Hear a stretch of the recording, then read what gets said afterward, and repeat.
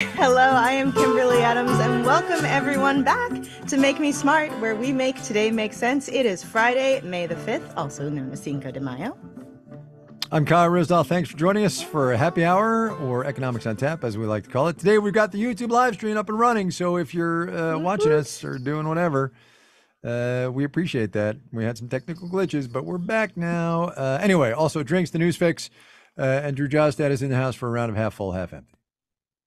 Yes, indeed. And uh, sorry, uh, I can't believe that I didn't think about potentially using, you know, the day to get a themed drink, but whatever. Instead, my drink today is a, uh, I think, what did they call it? Something savage. I just had it up on the thing, but it was in the newsletter. But anyhow, uh, it's got vodka, lemon juice, um, lavender bitters, and a sage syrup, uh, simple syrup that I made with the lavender from my garden, which you can see in my garnish. So, anyway, That's cool. it's fun. That's very cool. Yeah. That's very cool. Yeah. I'm doing, uh, What are you as doing? advertised in the newsletter, by the way. If you're to the bottom of the Make Me Smart newsletter, you saw what we were going to be having. Uh, I'm having Bunny with a Chainsaw, which looks like this. it's kind of amazing from Paperback Brewing. Uh, it's a nice hazy IPA, 8.2% alcohol by volume. It's uh, it's very tasty.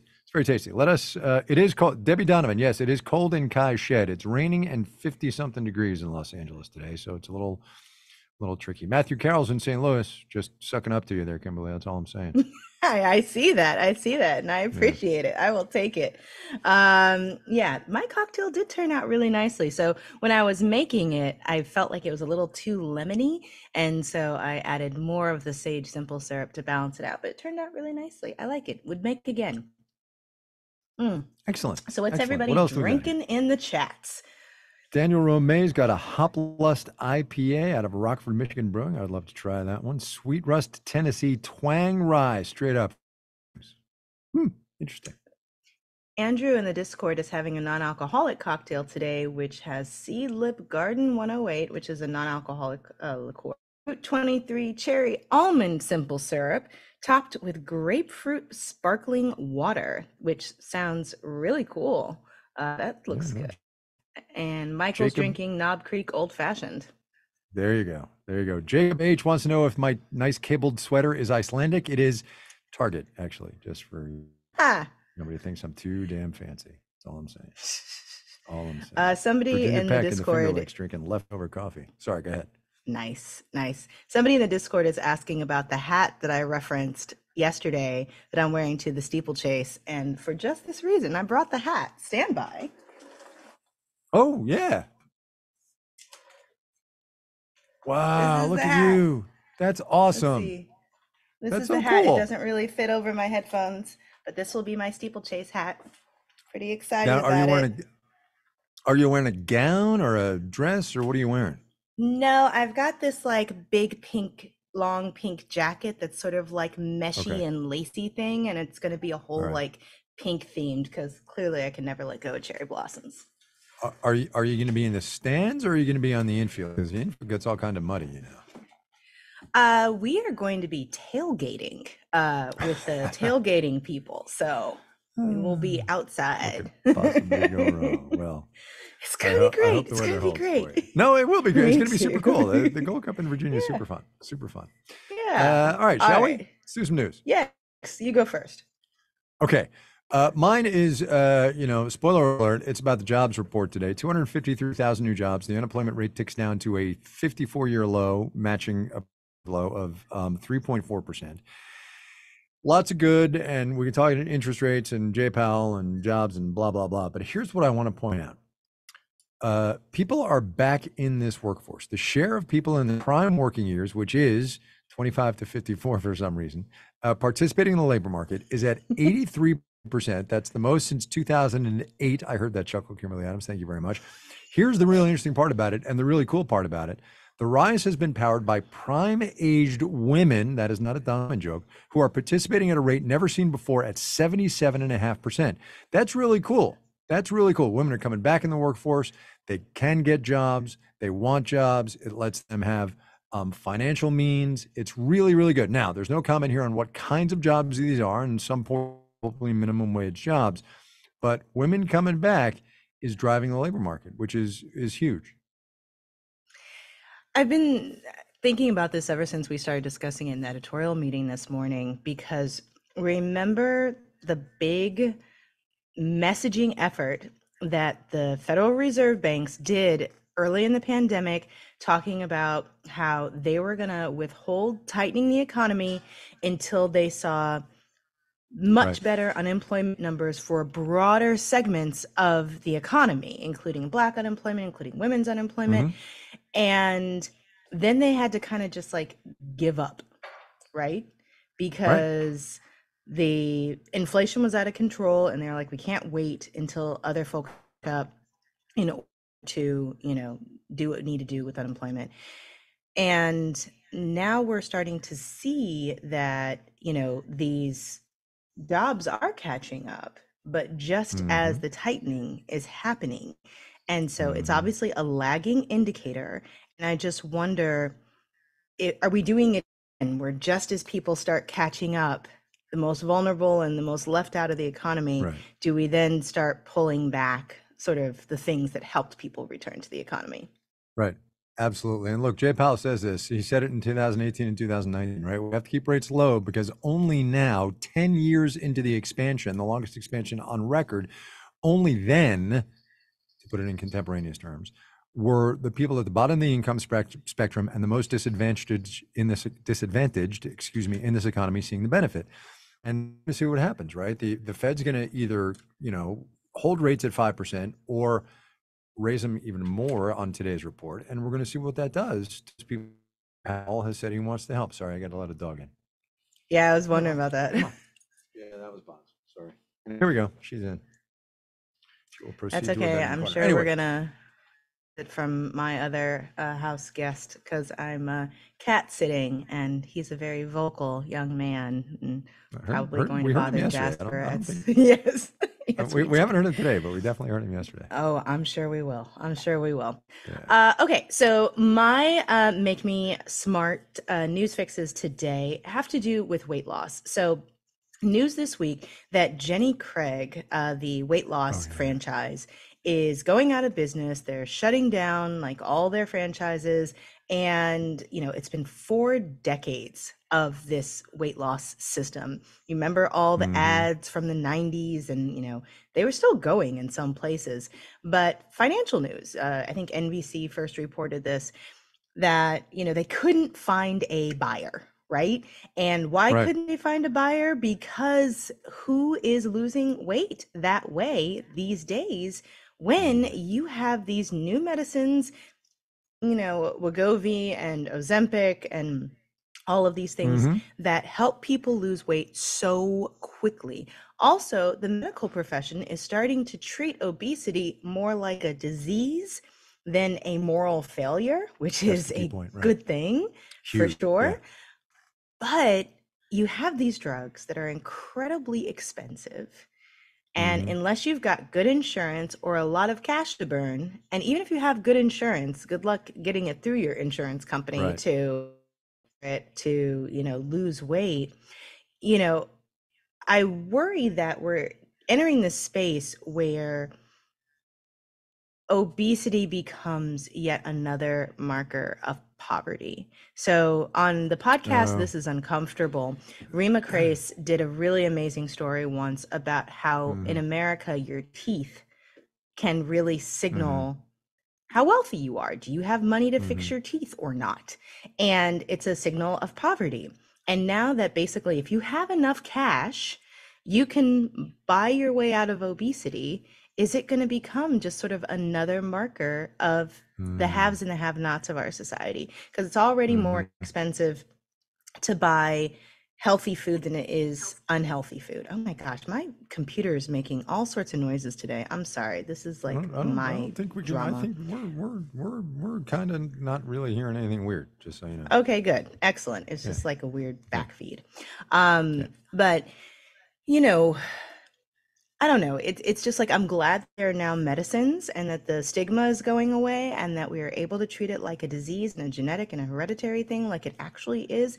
But on the other mm. hand, that these drugs are so inaccessible for so many people, I worry that we're just another way that you know we end up looking at someone and see an income you know stratification so anyhow Right. the Right. articles i No, linked really uh, were about you know who is jenny craig and the person herself and some of the things that she went through in her life as she created this empire.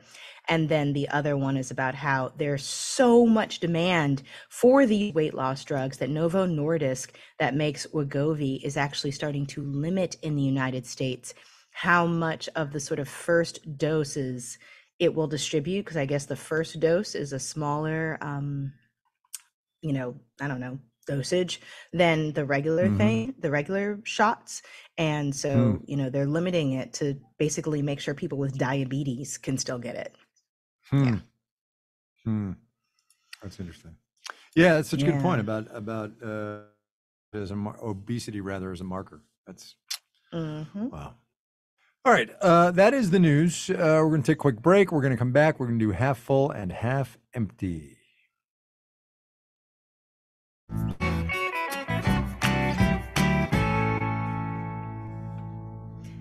Okay, we are back, and this is Half Full, Half Empty, where we go through some of the news topics from the week and tell you how we're feeling about them. Uh, half full being that we're feeling mostly positive if we are willing to take a side, and half empty being the opposite, obviously. And it is mm. hosted by our very own Drew Jostad. Hello, Drew. Let us get to it. Hello, the quote unquote godfather of AI has left Google and has serious mm-hmm. concerns about the future of the technology. Are you half full or half empty? On on what? On him leaving? On him having concerns, or the future of the technology? That's a that's a broad question for a quick response. You Mr. want me to pick, or you want to just have I want you to pick. I want you to pick because because you know Bridget and the producers of this podcast kind of left you high and dry, pal. So you decide what the question is. How about how about you give me your view on the future of artificial intelligence? Then? Okay. Okay. Okay. Uh, I will do that. I will also, though, first recommend to your attention a story that aired actually on Marketplace this afternoon uh, uh, from Matt Levin about people who are anticipating that AI will change things so much in the short term that they are how they live their lives. It was totally interesting. Don't agree with everything that was said, but wow, it was fascinating. Um, am I sh- so? Wait, Drew. The question again. Sorry. Sorry. Sorry. Sorry. Okay, so the this AI researcher has left Google Right, with right.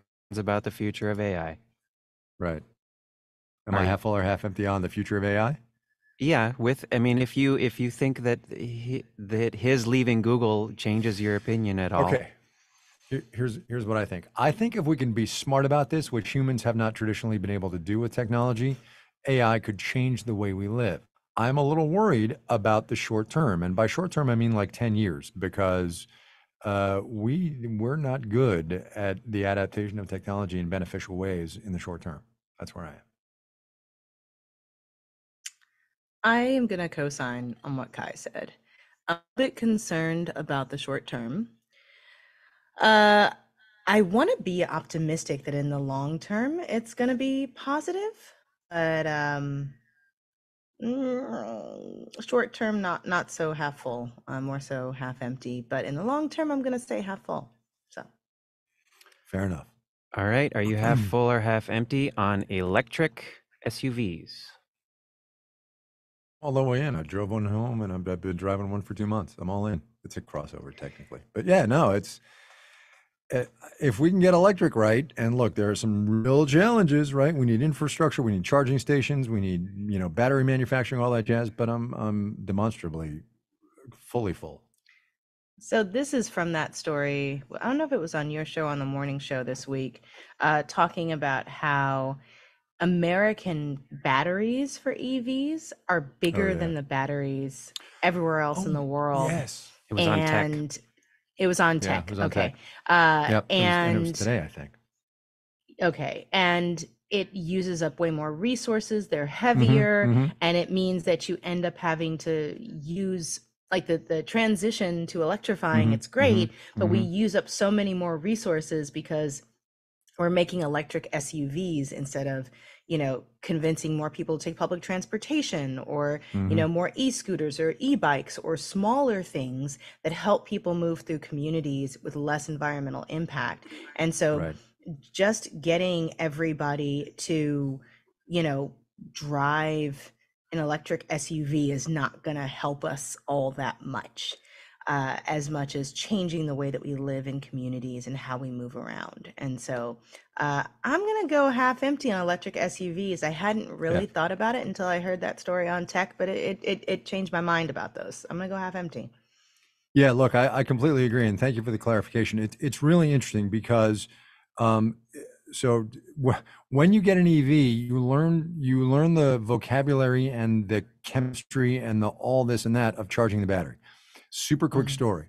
So my car, which is Ioniq Five, a Hyundai Ioniq Five, has a seventy-seven point four kilowatt hour battery and takes, you know, on where you are and what kind of charge you have. It can take anywhere from, if you go to a super fast charging station, it can get you to from 10% of battery to 80% of battery in half an hour, right? Which is great.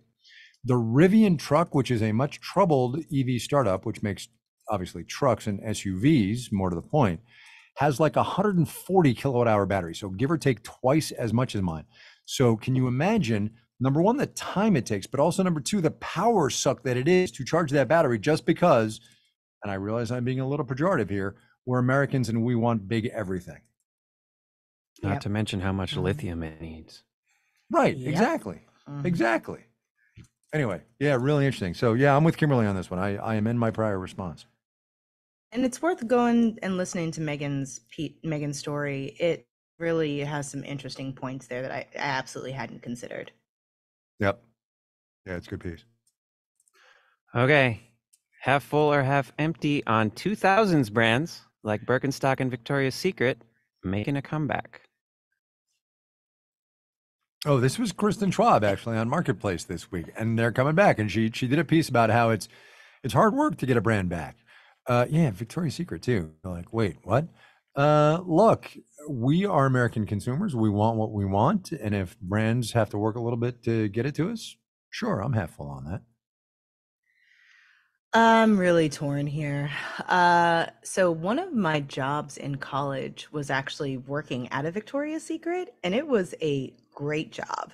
And I loved my colleagues, and it felt really nice to like have people come in and you make them feel really good about themselves. And that was like a very Sure. positive experience for me.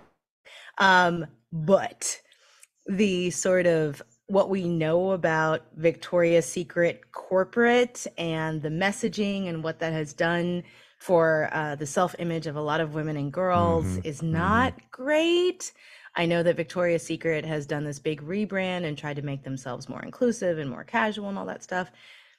If if it's being done differently, then sure, it. But um, I don't know. I, I feel That's fair. like I would much rather see what interesting new things uh, like Gen Z and others could come up with and actually get supported and amplified than to sort of drag back the brands of our youth and just rehash them for nostalgia.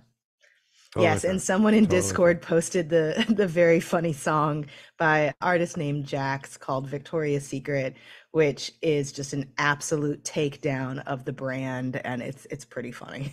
That's fun. Yeah. Okay.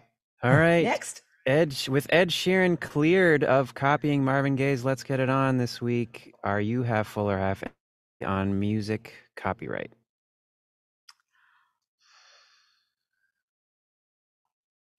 Hmm. I'm really torn on this one too because I know that some audio music people whose opinions I really respect and value felt that this case could be really dangerous for creativity in the music industry and you know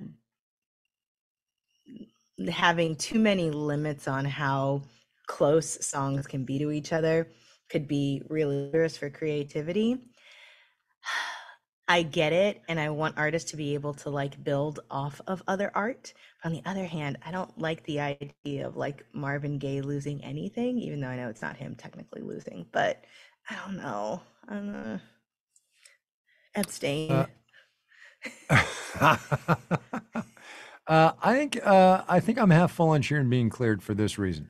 As I understand it, and I know nothing about music, uh, this both songs were based on a relatively simple chord progression that is the Mm. baseline for a lot of songs. And if you want uh, music to thrive, you have to let relatively simple bass lines, as you were, not. BSS but BASE lines, right?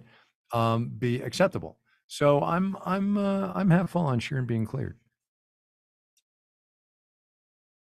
Okay. All Yeah. right. That's where I am. We got a poll. Oh yeah, do we? Let's Just see. say it like you mean it, Do we Drew. We got a a poll today. I don't know. Well, I let's believe we find do. out. We're gonna do it now anyway. All right. Yeah. Even all if we don't. let's do the poll. Okay. You All can right. share your thoughts with us, even if you don't get to click on anything. That's right. okay, go. Okay. Are you half full or half empty on the coronation of King Charles? Oh my. Oh my. Very good one. So uh yeah. Yeah. So we're doing a Mhm. poll. Well, Doing a apparently I have the hat for it, as everyone has told me. You totally do. You you could go to Ascot, the royal races. You could go to the freaking coronation. You could go. You can go anywhere. You can go anywhere. The funny thing is that this is not even the biggest hat that I own, nor is it my only Really? big hat. Where do you oh my keep gosh, I those have- hats? I have them hanging on a wall in my closet. I got all these like command hooks and then little um, clip hooks that go on the command hooks, and so I can hang them all flat against the wall. And some What- of them are in hat hook? boxes. What's a command? It's the little It's a- hook that like adhesive sticks to the wall. Oh, and and Aha. it, uh-huh. it lets you stick stuff on the wall without doing damage. Longtime renters are very familiar with command Oh. hooks because it lets you hang Oh. stuff on the wall without damaging it and losing. but you own. You own that place, right? You can put it in the wall. Boom. I don't care. I live here. I own it. This is true, but I rented for a very long time. And also, um, I the sizes of the hats are weird, and I did not want to measure everything out perfectly. And so I could just sort of stick them up there, and if it didn't fit right, I could just take it down and do it again until I got it right without, you know, a million holes in the wall. Fair enough. Fair enough. All right. People are very uh, entertained that you didn't know what command hooks are. What? Mm, Whatever. Oh God. Look, I rented for a long time. I rented for a long time. Uh, okay, let's Mhm. let's pile in on the answer to this one. They have had enough time. They have had enough time. I am half empty. I think we just need to let all this go. it's just. Mhm. If I were a member of the British public, I would not want to be paying for this. Uh, I would be pissed if I were a member of the British public, much as were I a Canadian, I would be f- in favor of Quebec secession. That said, Mhm. I'm a history guy, and there ain't no history like the history of the British royal family. So while I will not up and at 2 a.m. Uh, West Coast time, I will stream part of it whenever I roll out of bed uh, and just check it out. Otherwise, I think the monarchy is anachronistic, and and the British people ought to, you know, think about something else. That's where I am. Okay. All right. Let's. What does the That's poll where I am. What does the poll have Uh, to say? Seventy-seven percent half empty, twenty-two percent half full. So uh, I guess others are in line with our thoughts on this. I, I, I do wonder. You know, my, my my general sense of all the coverage is that the British population is relatively along those lines. They're like, yeah, whatever, you know. Mhm. Only few are strongly in favor. Also, by the way, there are 220 people on the stream, and only 132 of you voted. So I don't know what y'all are doing here. But For come on, shame. man. Come so on. somebody in the YouTube chat, who's Dagnome, I guess is the username, said we do something like this every four years. It's not entirely different. It's completely different. Say more. It's completely different. Well, sure. So there will be a part of the ceremony in Westminster tomorrow in which Charles Windsor, which is his name, will be hidden behind a screen and anointed by the Archbishop of Canterbury with oil that was uh, um, uh, blessed in Jerusalem. Okay. He will then he will have ridden to and from uh, the coronation ceremony uh, in coaches of state, which are worth, my general guess would be some multiple of the average British person's annual salary. For Um, and then he will go back to Buckingham Palace and do what? We have every, every four years, and look, I, I appreciate the symbolism and the history and the this and the that. But the difference between whatever it is that's going to happen in Westminster tomorrow, which I will watch part of because I dig history, is not the Mhm. same as a democratically elected leader in front of the population swearing to preserve, protect, and uphold the Constitution of the United States, taking a walk down Pennsylvania Avenue, which, yes, is a parade, and which, yes, is, I guess, randomly ceremonial. And let's not get started on the imperial presidency. But then when he gets to the White House, he literally goes to work. Or maybe next, you know, next election, she literally goes to work. Right. So, not the same. okay. That's my rant. That was a good rant. That was a good rant. All right. Um, that was an excellent rant. I think go. that's a good place to go. end too. No, I mean, You, you do it. Take it. I, I don't have much to add. I'm, I, I agree. I agree. All right. That is, that is Uh, okay. it for us today after the rant. We're back next week. Questions, comments, uh, make me smart uh, at marketplace.org. Also, marketplace bingo suggestion. We could use those. We'll use them Mhm. somehow in a fundraiser or some kind of game that we'll do at some point. Five of you be smart. Email works as well. Make me smart at marketplace.org. O R N G. And A N D and. So for sure as hell, somebody's going to go O R N G. That's not going to work. Anyway, whatever. Make Me Smart, produced by Courtney Bergsieker. Today's episode was engineered by Charlton Thorpe. The audio problems were my fault, not his. Drew Jostad wrote the theme music to Half Full, Half Empty, and Antonio Barreras is Rosenberg, I'm Emily, McC- Emily McCune. God, Kai and Antoinette are the team behind our Friday game. Marissa Cabrera is in charge of this podcast. Bridget Bodnar is in charge of it. Uh, and Francesca Levy, executive director of Digital and On Demand. Oh my God. They gave you the short ending. That's not your fault. I know, right? You're like, you guys.